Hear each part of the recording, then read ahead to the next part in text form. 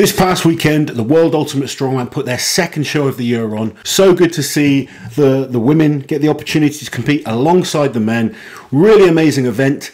Now, in the past, the World Ultimate Strongman have put on, I believe, four events Yes. as long as as well as the the kind of feats of strength and we've always given feedback Three. to the to the promoters try and give like honest feedback of where things can improve. We look online. Liz is online all the time reading the comment sections.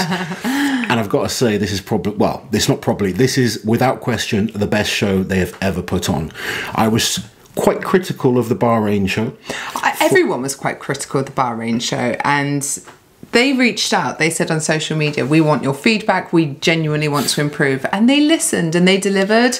Absolutely, in, in every section as well. I, Yeah. I've got to say, Mark Boyd's team on the on the ground Yeah. just worked like a, a seamless machine. Yeah. Everything was in place. Things were reset quickly.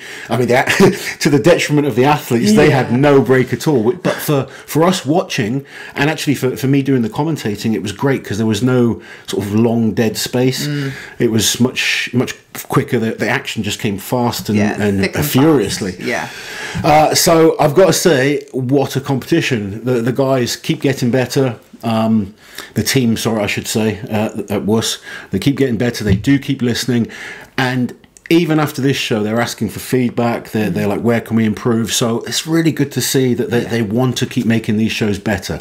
I hope you guys that watched it enjoyed the stream. I love doing the commentary for it. And maybe we should start with the women. Yes, definitely. Before we go into the women, let's have a quick reminder of the events that they had to do. So it was a 100 kilo log for reps. They had a 300 kilo yoke for max distance. I don't think anyone enjoyed that event. That was that was the event that really left people battered as well. I think Yeah. because it was such a Especially fast-paced show. oh, the men were struggling. The men were a mess. The women coped a bit better than They the did. men, I felt. But then they went into a 110 kilo in each hand farmer's walk. Then there was the mystery event. What was it called? The chain carriage track. Push pull. Push pull carriage. I, I actually thought it was a, a very cool looking event. yeah. Feedback from the athletes, I think it could have been a little bit heavier, particularly for the men, perhaps. Mm-hmm. Yeah. Um, and I, I mean, I, I say that two of the guys didn't finish, but that was Cramping. Yeah, one of the guys got cramped. The other one had a hernia. Yeah, that So, was you know, horrible. that was just unfortunate. But I was speaking to a number of the guys, and they were just like, it was a cool event, and the concept of it that it actually got heavier. Yes, So it started off quite chain. light, and it got heavier. It Was cool, but I think it, it could have been maybe a fraction heavier. That's the the only real criticism I have of the whole show, which is it shows how good it, not and bad well run it was. And then finally, the women did the 10 stone Atlas stone run with the weights going from 60 kilos on the lightest stone to 150 kilos for the heaviest. So we had some amazing performances by all the, the women. Really, they really put Strong Woman on the map with this performance and, and this this show. I've Yeah. seen loads of comments from people saying how much they enjoyed watching the, the female side of the sport, which is, is great to see. Yeah. Uh, they started off with the log lift and Andrea Thompson dominating that event. She is the current log lift world record holder and she kind of, you know, showed why she has that record. We expected Andrea to do well. So, for those of you that don't know, Andrea Thompson tore her calf in the gym the week before the competition in Dubai. Obviously, hugely disappointing for her, but she powered through. She she did amazing, all things considered. Everything that was thrown at her that week. I know you can't be biased because you coach her, so um, We had to give her a few mental talking tos. You had to give her some tough love. I, I did, just to try and help her block it out and, and get through it. But she put in an incredible performance. I thought did. she's she's disappointed, and I understand that because really the events like the yoke and the farmers she's much better at and she was trying to hold back to protect it which Yeah. i've been in that position before it's never fun but she got through the show really proud of her and i think she should be proud of herself number of other incredible performances Oh, though.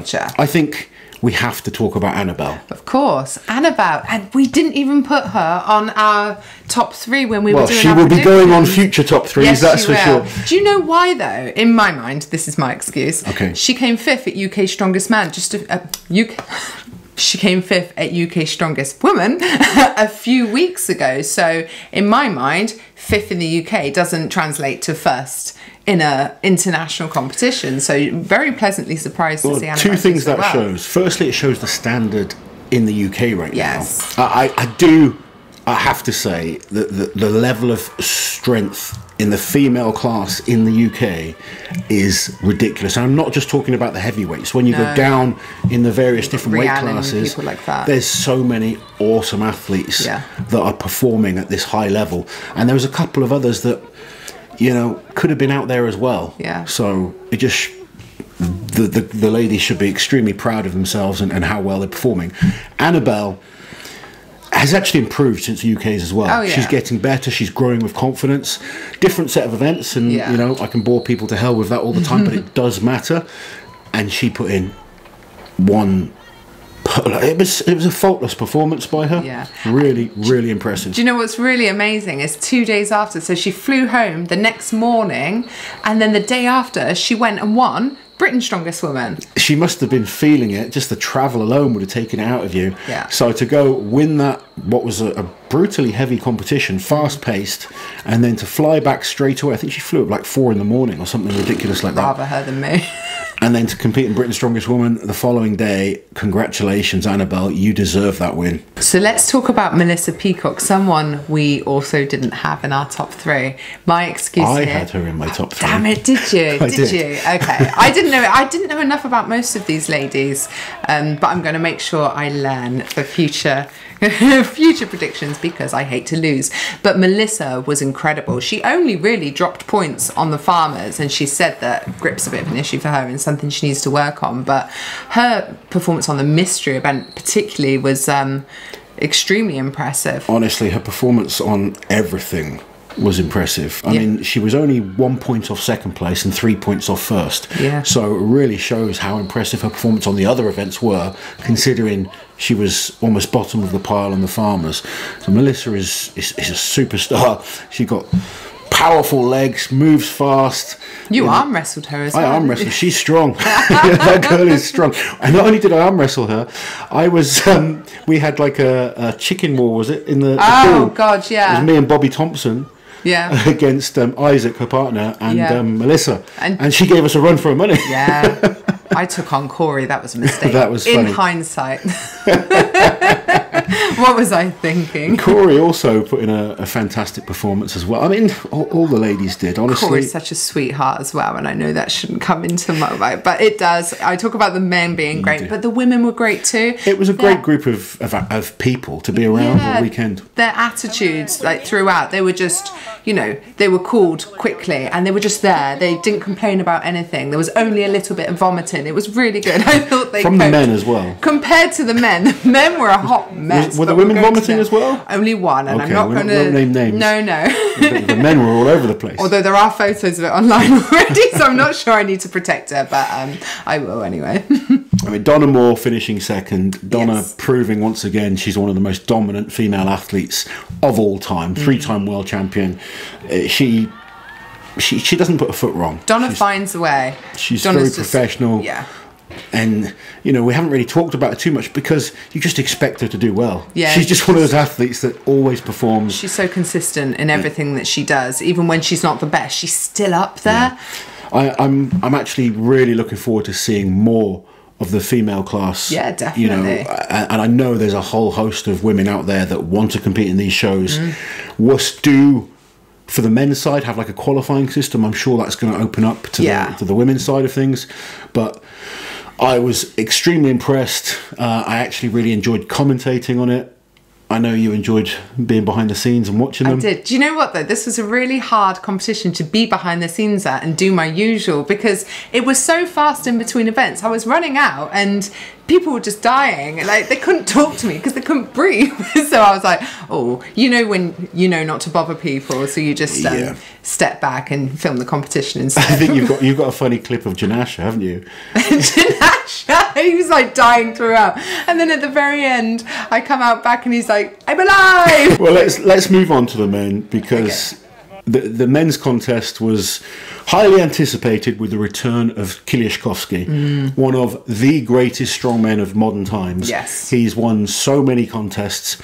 He was nervous, wasn't he? Oh, oh, Two that- years, nearly two years out of action. Yeah, he was. He was so literally nervous. shaking before the first event. People like Mateusz. He has a really intense face, but that's just his face, and I think his nerves almost make him look aggressive or angry. But he's really people not. that don't He's- know him, Yes, no, he's a he's such a gentle soul, and you just want to hug him, don't you? Because oh, bless him.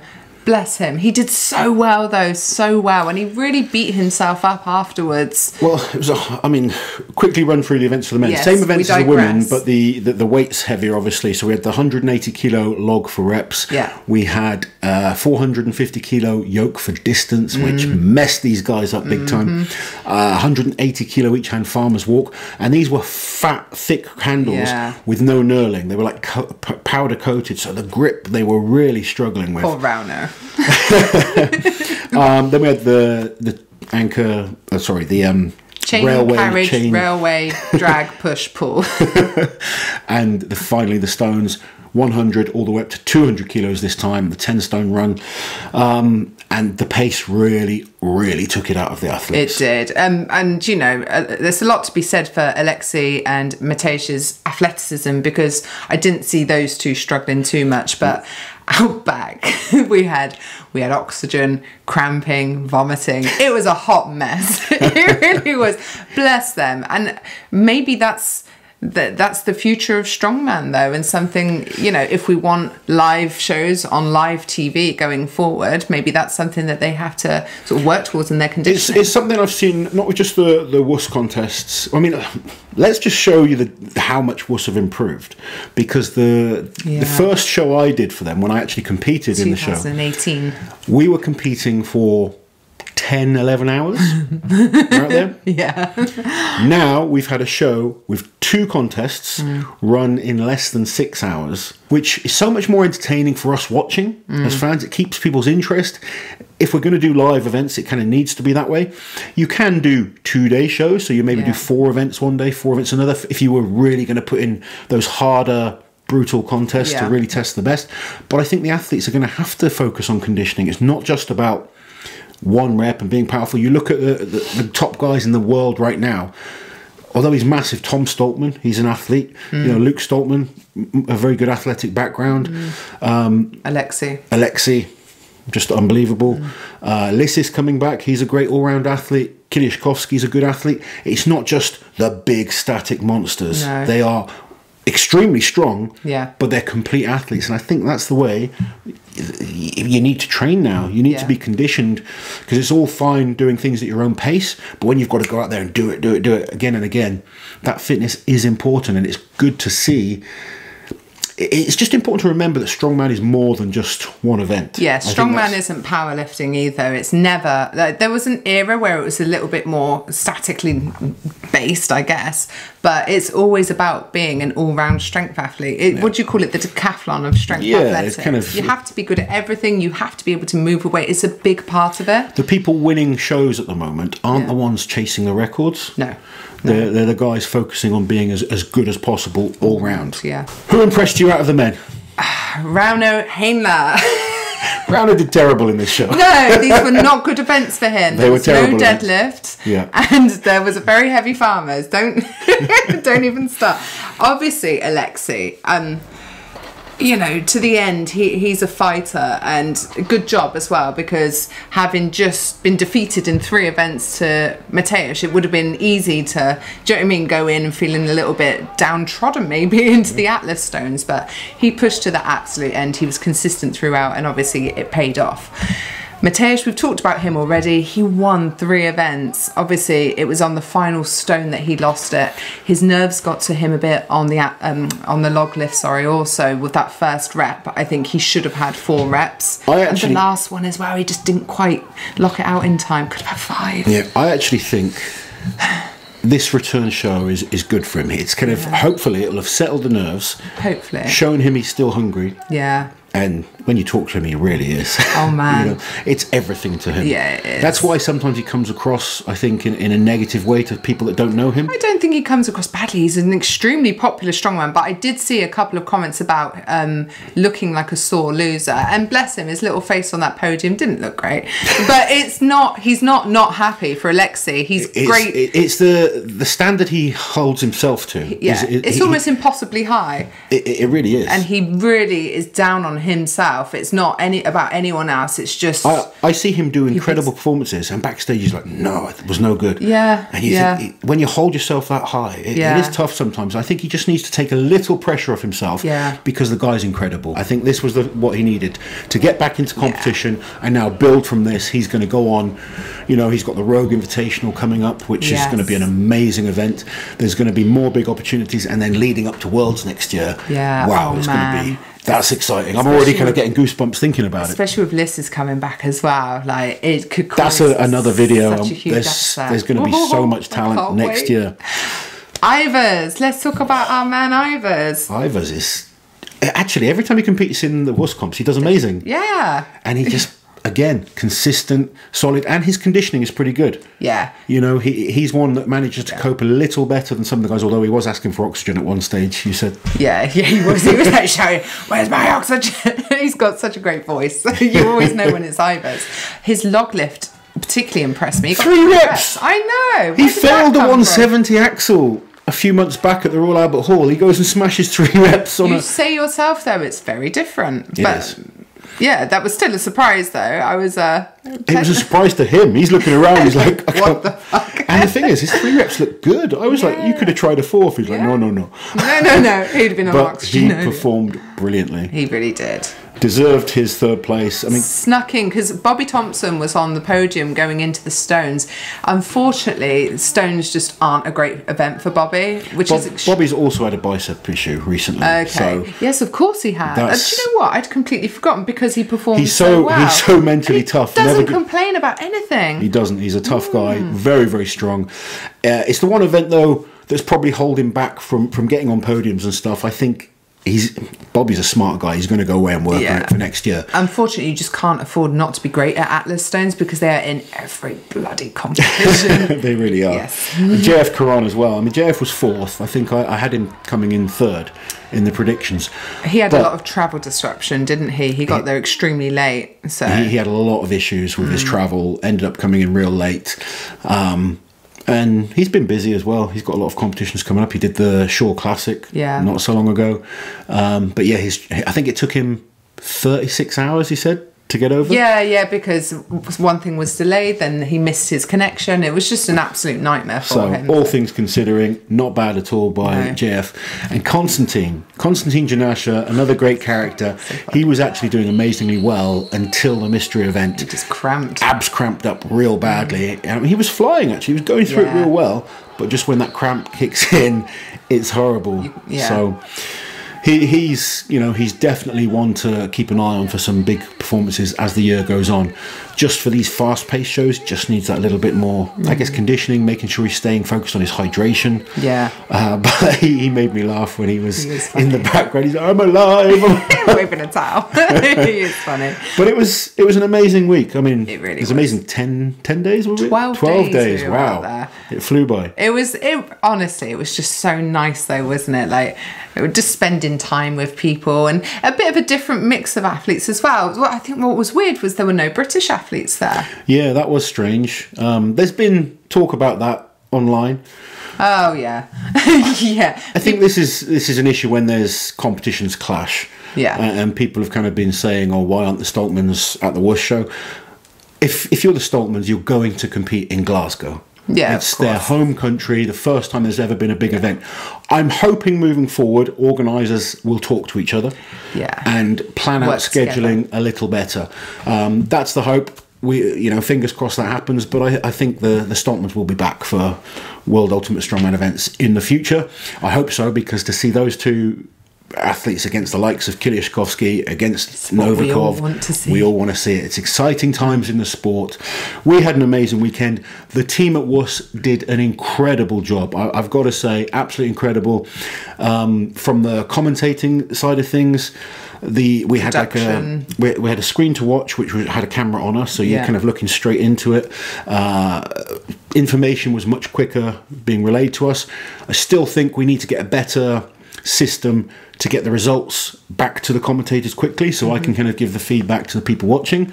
Uh, but other than that, I thought it was brilliant. Really, really amazing week, amazing show, and an amazing performance from all of the athletes. While you're here, guys, subscribe to the channel, hit that notification bell so you don't miss any of my awesome strength content.